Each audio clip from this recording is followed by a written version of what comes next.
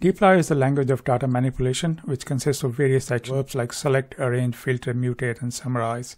This video is about the case when statement, which can be used to create a conditional logic in your applications.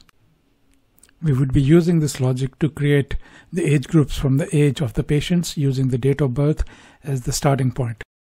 Okay, so let's get started. We would be using these three libraries, dplyr, Wakefield, and ggplot2. Let's create some dummy data.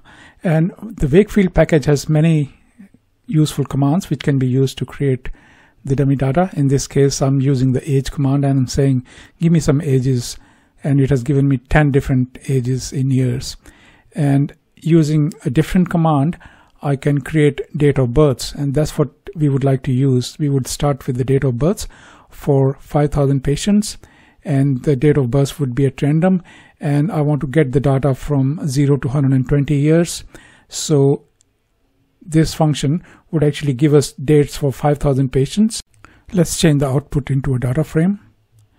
And then also we would like to change the name of the, the data column as date of birth using the names command.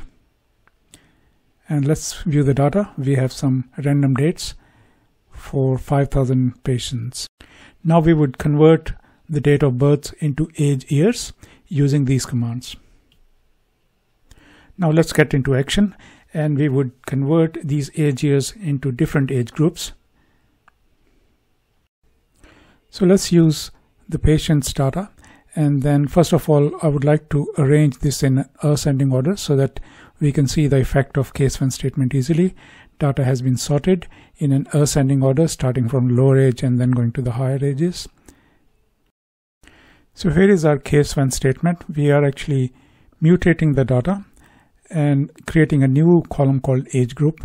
And using the case when statement, we are saying that if the age years is between 0 and 10, then it should be labeled as 0-10 years, the, the red colored label.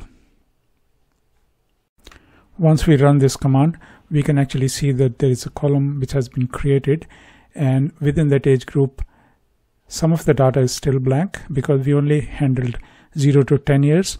Now we are going to handle the remaining ages as well. So you, let's quickly create the other options also to cover all the age years starting from 11 to 20, 21 to 30 and all the other ages and after the age of 80 we can lump all the ages from 81 to 120 as 80 plus years and lastly we would have to do a catch-all statement so if none of the above works, then it will be labeled as unknown.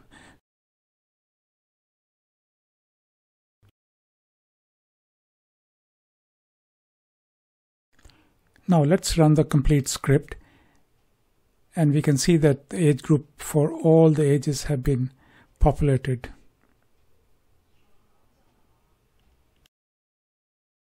Now is the time to do some aggregation of the data and I'm going to run this command. So using our original data, D1, group the data by age group, and then do a tally or calculate the frequency. And then let's run this first.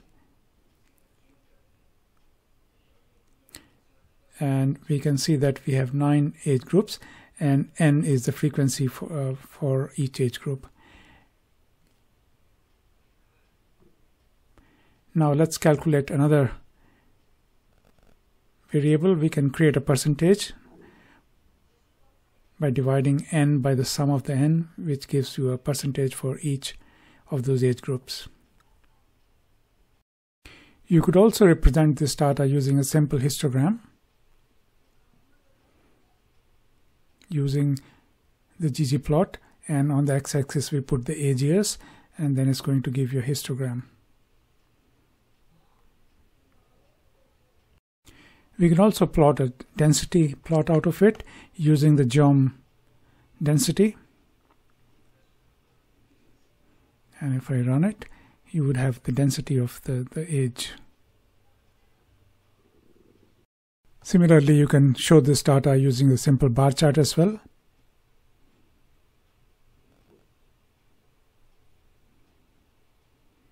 Now let's create a bar chart with a percentage column on the y-axis. And remember we created a column called PCT or percentage, which we can use. And if we run that,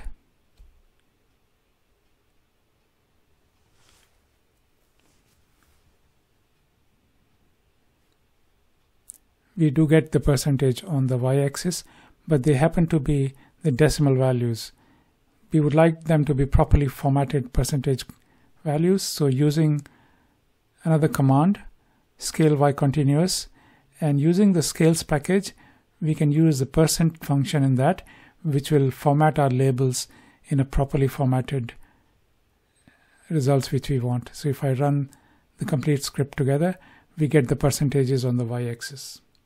We can also show this data as a line chart. Here is a simple example of this line chart. The same data can also be shown using a dot plot or a point chart, which is going to look something like this. And I hope you found this information useful and practical. Thank you very much for watching it, and I'll see you in the next one.